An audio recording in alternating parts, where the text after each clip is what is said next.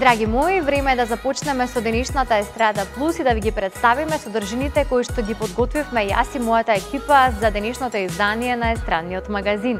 Момчето со волшебен глас Никола Зацески ја промовираше неговата прва авторска песна. Срцето мое тука чука, тој ја посветува на нашата земја Македонија.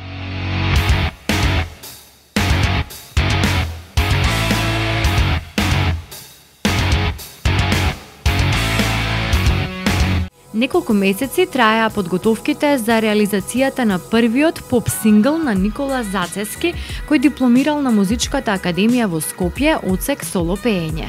Пријателите, но и критичарите го знаат и како волшебниот глас – До сега аматерски сними неколку своји изведби на познати македонски хитови, како Великден и Километри, но за првиот самостоен проект собра врвна екипа на професионалци од Македонија и Австралија, каде што живее веќе две години.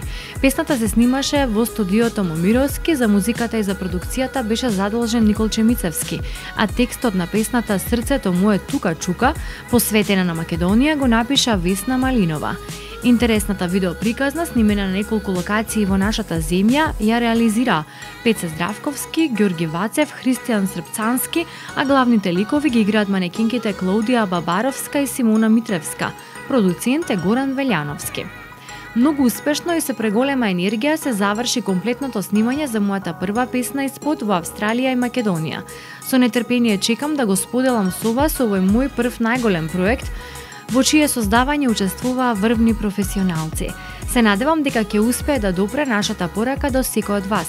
Пораката е едноставна и неизина цел е оние кои ќе ја слушнат песната да почувствуваат љубов, среќа, радост, убавина, вели Никола за своето првенче. Инаку тој својот талент и искрена љубов кон музиката, посебно кон македонската, ги покажува од најрана возраст. Учи да свири пијано на 10 години кога почнува и да пее. Завршил средно музичко училиште во Битола, а подоцна е факултет за музичка уметност Свети Кирил Методи во Скопје. Работел како професор во средното музичко училиште Климент Охридски во Битола. Уште за време на своите студии Никола учествува на многу интернационални музички надпревари во Русија, Полска, Франција, Шпанија и Бугарија, освојувајќи 11 награди, а како хорист освоил 5 меѓународни признанија. Покрај интернационалните успеси како дел од македонската опера и балет настапува на Охридскиот, Битолскиот и на Скопскиот фестивал – Своето оперско пеење го усовршува во Русија, Италија и Австрија.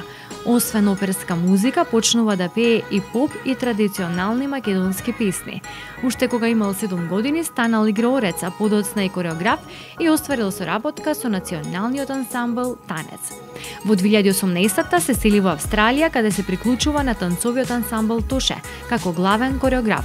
Бил дел од голем број хуманитарни концерти во Македонија, Австралија и низ целиот свет и станува водечки член на Игри без граници, организација посветена на создавање и организирање настани од хуманитарен карактер со цел подигање на свеста и обезбедување на финансиски средства за децата во Македонија и целиот свет. Во февруари годинава во Мелбурн го организира хуманитарниот настан Насмевка за овој свет, насмевка за едно дете во спомен на Тоше Проески.